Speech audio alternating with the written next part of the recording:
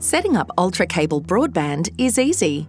Before you get started, you'll need two things a message from us advising you to plug in your cable modem and your iiNet Cable Gateway Pro modem. First, find your cable wall socket. This may be a wall socket that was previously used for a pay TV or cable broadband service. Use the supplied coaxial cable to connect the cable in connector on your modem to the cable wall socket. Make sure this cable is securely connected at both ends.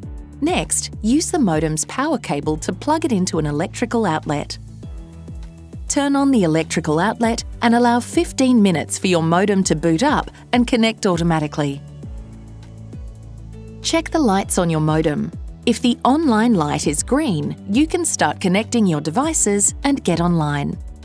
You can use additional Ethernet cables to connect devices to any of the four yellow Ethernet ports on your modem.